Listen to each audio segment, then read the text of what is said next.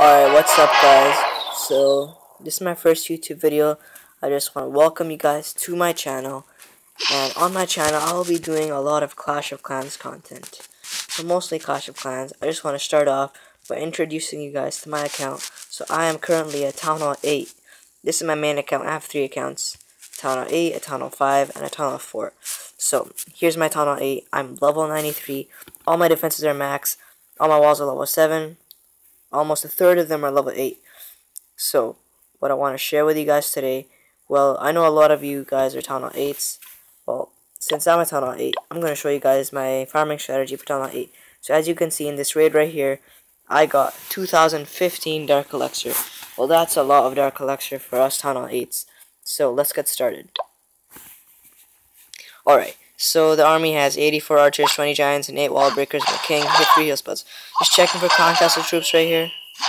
And now I'm just going to send the giants. You're going to want to spread them out a little bit so that they can distract the defenses while your wall breakers and your archers go in. So I'm just sending the wall breakers, breaking in. Then just sending in the archers from behind.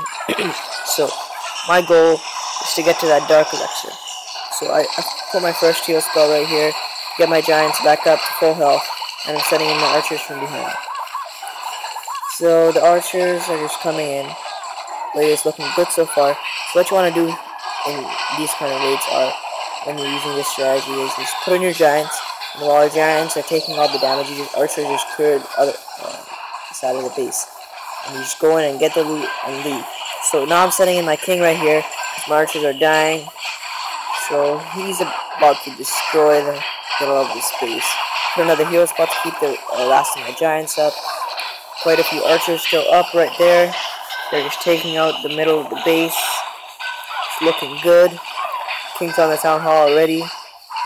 Pretty much full health. Just a few giants left over there. Archers still alive. 20 of them. So raid's almost over.